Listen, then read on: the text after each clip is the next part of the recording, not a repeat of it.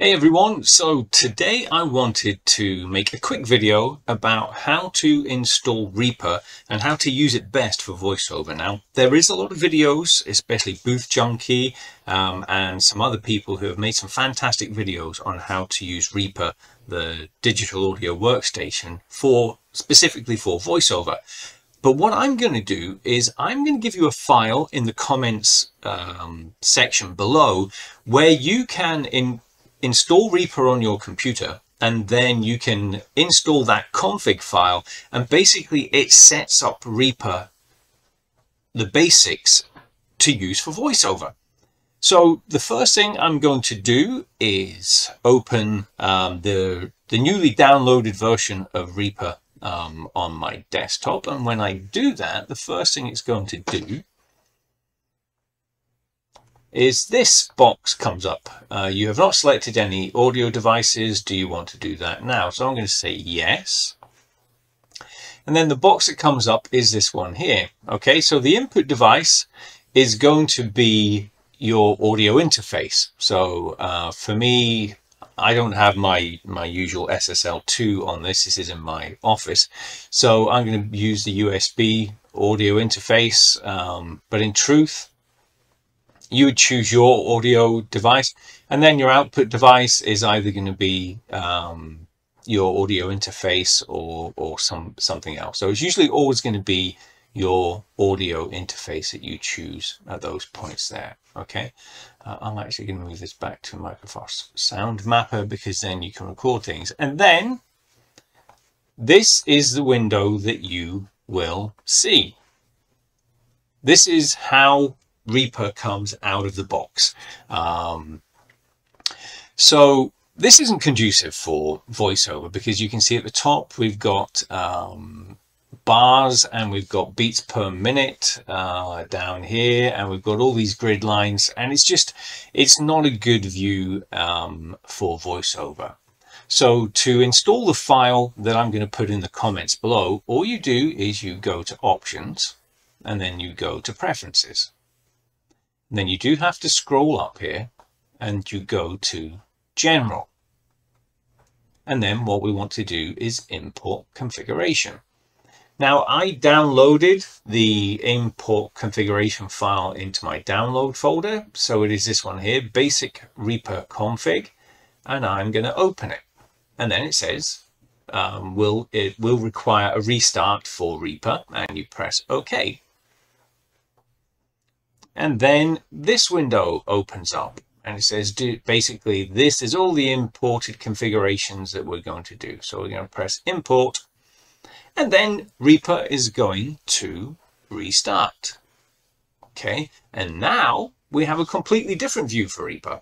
And you can see here on the left hand side, this is the um, audio levels from the microphone that is being that I mapped to uh, Reaper, which you would have made as your audio interface. And this section, big section here, is going to be your waveform. This section on the right here, this is your master volume control, um, basically your master mixer. And then down the bottom here is where we can start recording.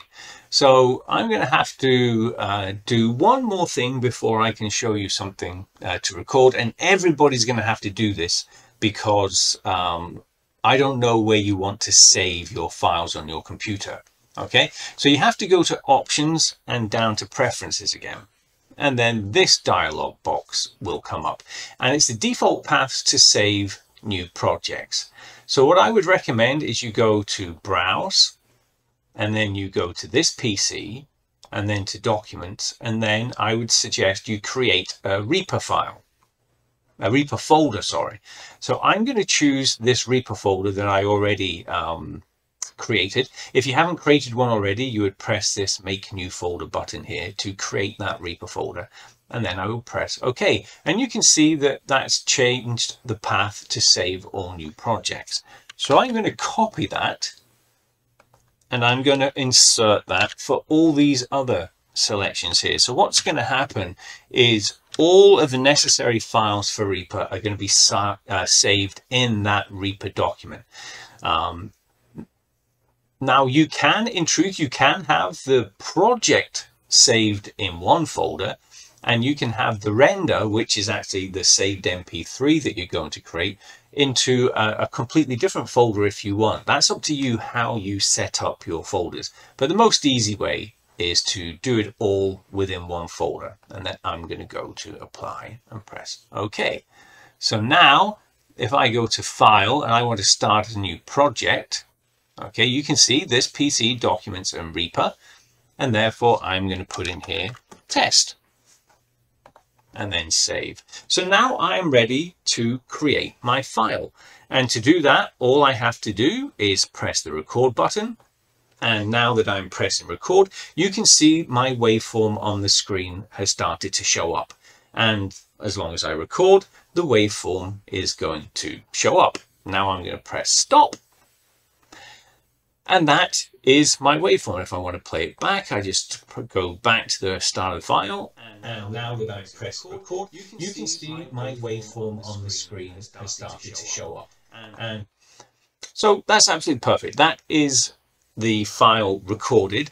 Um, I'm not going to do editing and how to manipulate the file and the, the waveform on this video. I will make another video for that. But as you can see, this is a very, very easy way for you to use uh, Reaper for VoiceOver. And um, you can see how easy it is to get set up. Because uh, a lot of people get scared with Reaper because it, it is such a complex uh, program. But when you strip it down uh, to its most basics, it actually is really, really easy and really, really powerful. So look out for some more of my Reaper videos coming up soon, but hopefully uh, that shows you how good Reaper can be and how quickly it can be set up. Take care until next time.